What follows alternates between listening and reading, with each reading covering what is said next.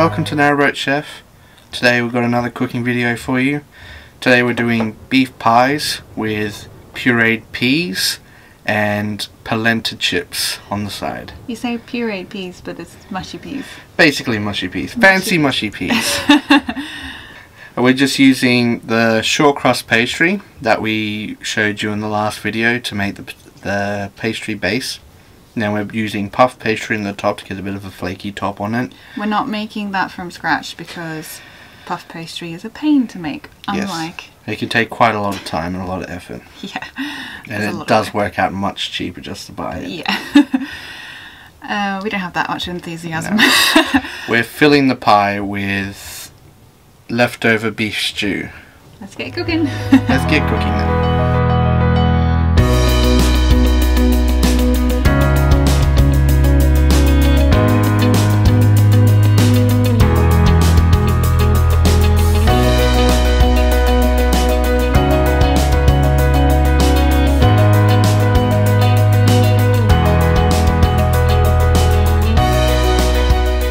Video you would have seen us making short crust pastry, uh, really simple and easy to make.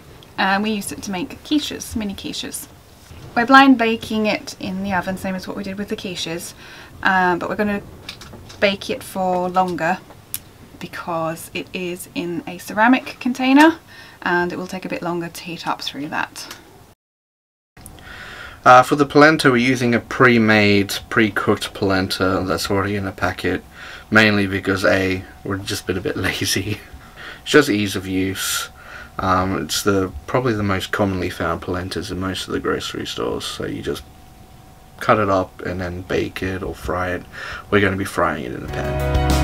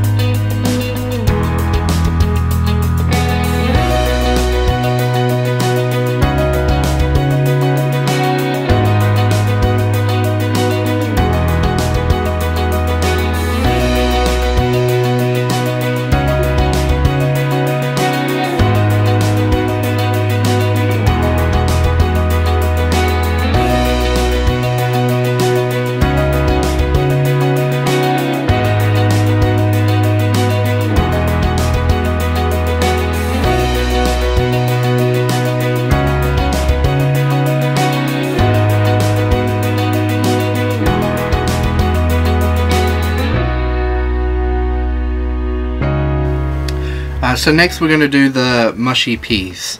We're going to start by putting a few handfuls of frozen peas into some boiling water. We're just going to blanch them just to heat them up. We're not going to actually cook them. We still want the bright green color in them obviously. We're going to strain them of all the water, make sure it's not too much um, moisture left in them.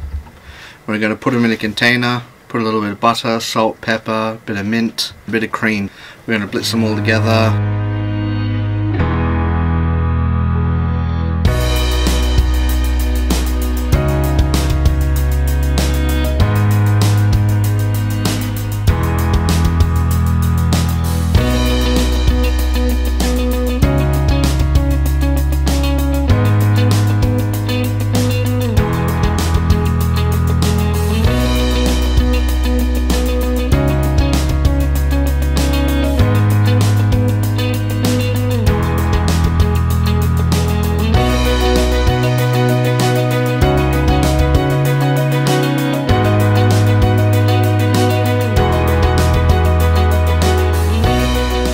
Just be quite careful with the polenta chips because they do tend to spit quite a lot and you will burn yourself if you're not careful.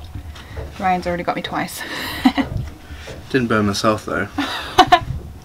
Priorities.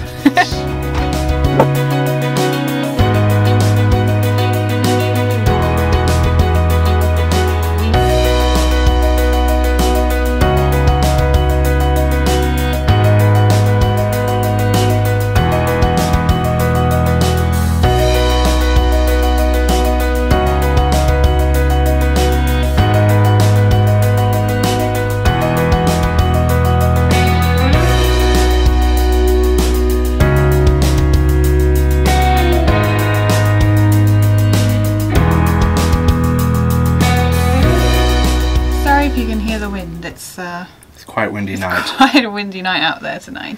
So that's our winter pie. It's pretty much a leftovers meal, to be honest. It's just leftover stew, leftover short crust pastry, a bit of puff pastry we had left sitting in the freezer, polenta that was just pre-made we had sitting left over from when we had your mum over, wasn't it? Leftover cherry tomatoes. And the only thing that we really actually had to get out is just the peas.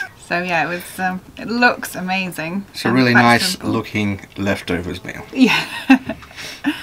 And those of you who are wondering, that is just a balsamic glaze on top of the polenta chips. and didn't film the tomatoes, but they are. It's just been a little bit oiled, a little bit of salt and pepper, and Mm, in the oven for a couple of minutes. Yeah, just about the same amount of time that we cooked the pies for, really.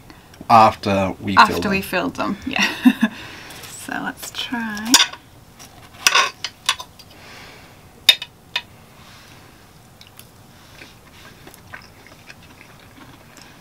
Mm.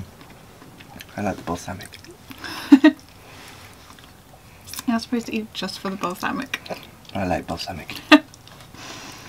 that pastry is really good. Yeah. I know I said it last time when we did the other pastry, but I can make some damn good pastry. Mm. So we are going to enjoy our dinner and leave you guys jealous. if you've liked the video, uh, please give us a like, it really helps support us. And don't forget to subscribe. Yeah, subscribe if you're enjoying the videos and want to see more cooking videos because you're going to see them anyway. Bye. Bye!